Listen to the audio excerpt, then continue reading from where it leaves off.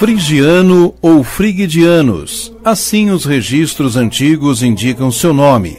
Teria nascido na Irlanda, numa data desconhecida do século IV. Cristão e monge, teria saído de sua terra natal como peregrino e estudante, com destino a Roma. Mais tarde, existe a notícia de sua permanência na Itália, nos arredores da cidade de Luca, na Toscana, vivendo como ermitão. A presença do monge foi notada pela população tipicamente rural, sempre castigada pelas enchentes do rio Sérquio, que ladeava a cidade. A sua vida austera, de trabalho, oração e penitência, somada à sabedoria e cultura, logo se fizeram evidentes. Também sobressaía sua energia e liderança. O clero local e o povo decidiram que Frediano era o cidadão mais indicado para seu bispo. Possuía os dotes naturalmente sempre valorizados e que, especialmente nesse período histórico tão tumultuado do país, eram essenciais. Foi eleito e consagrado bispo de Luca em 560, certamente um fato inusitado.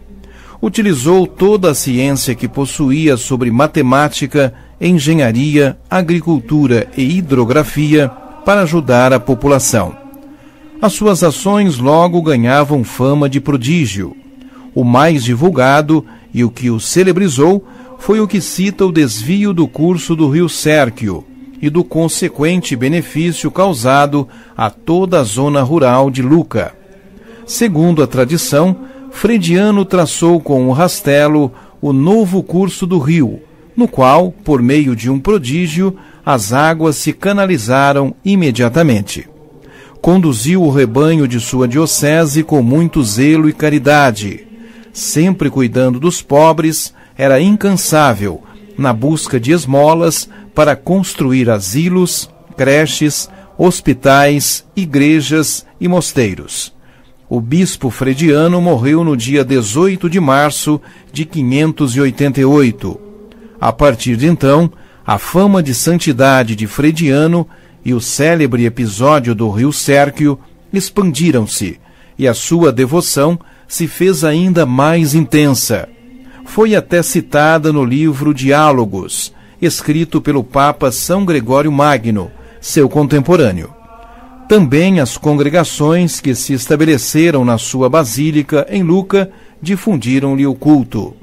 Depois, o impulso veio do fato de, em pleno período medieval, para evitar saques por parte dos piratas e invasores, o corpo de São Frediano ter sido sepultado num lugar escondido no cemitério da igreja. E ele só foi localizado, por acaso, muitos meses depois, durante o sepultamento de uma jovem que quase foi colocada onde era o seu túmulo. Tempos depois, sua obra floresceu na bem antiga e pequena comunidade monástica, os conhecidos Cônegos de São Frediano, os quais o bispo Anselmo de Baggio, quando se tornou o Papa Alexandre II, indicou para dirigir o mosteiro de São João de Luterano, em Roma. A sua festa ocorre no dia 18 de novembro, data que recorda o traslado das suas relíquias no século XI para a atual Basílica de São Frediano, em Luca. São Frediano, rogai por nós.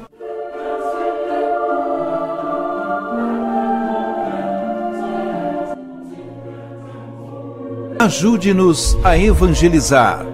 Se inscrevam em nosso canal, ativem o sininho, dê o joinha em nossos vídeos e compartilhem a palavra de Deus.